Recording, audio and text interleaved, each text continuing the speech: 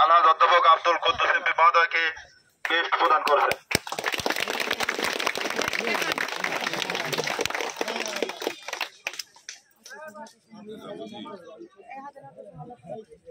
করবেন